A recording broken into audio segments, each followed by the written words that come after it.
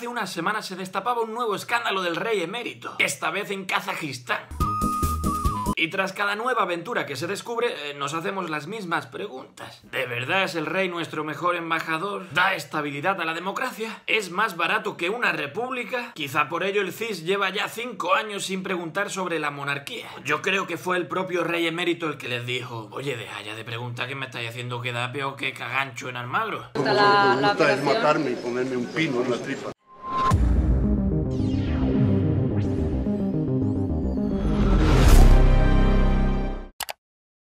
Así seguimos agachando la cabeza como súbditos y aceptando medias verdades sobre la monarquía. Por ejemplo, la monarquía es más barata que la república. Eso no está nada claro. Lo que cuesta realmente la monarquía es un misterio, ya que a la paguita que le damos a la familia real habría que añadir otros gastos que no se cuentan. Seguridad, mantenimiento de edificios, vehículos, funcionariado, eh, viajes... Pero es de las monarquías más baratas del mundo. Eh, bueno, si algo sé de economía es que lo barato al final sale caro. ¿Cómo vamos a echar al rey? ¿A quién ponemos de jefe de Estado? ¿A Sánchez, a Iglesias, a Abascal? Al que el pueblo elija. Escuchamos siempre los mismos argumentos. República como en Venezuela en Corea del Norte? ¿Mejor monarquía como en Reino Unido o Dinamarca? También podríamos decir, monarquía como en Arabia Saudí o Marruecos, mejor república como en Alemania o Finlandia. De los 27 Estados miembros de la Unión Europea, solo 6 son monarquías. Con una monarquía profesional como la española nos aseguramos que no haya tentaciones caudillistas, que ningún presidente se convierta en dictador. Y ahí tienen razón los monárquicos. Si de algo entiende la monarquía española es de caudillos.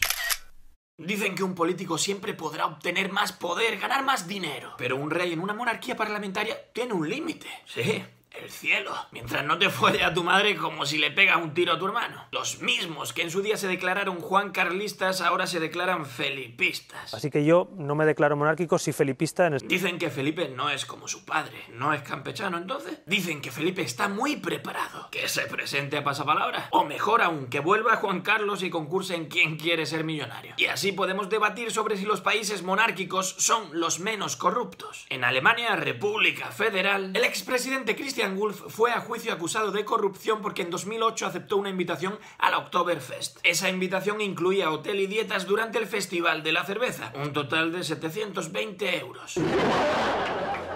Cuéntale tú a un alemán lo que hacía Juan Carlos un, un lunes cualquiera. El carácter de uno es así, otros pueden ser de otra forma. Ahora, mi bulo favorito es, a Felipe VI le han votado 15 millones de españoles en el referéndum de 1978. Aquí lo podemos ver en plena campaña electoral.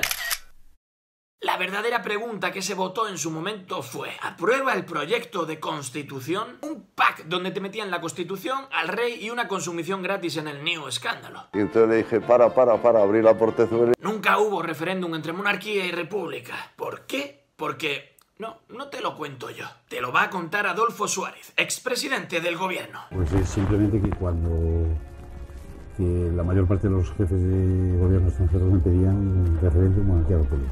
Claro, eso era peligrosísimo en ese momento. Hacía encuestas y perdía. Claro. Y a Felipe que lo estaba diciendo Adolfo que ya. Entonces yo metí la plaza y la monarquía. Y de aquella manera- Y que había sido sometido a referéndum. ¿eh? Claro.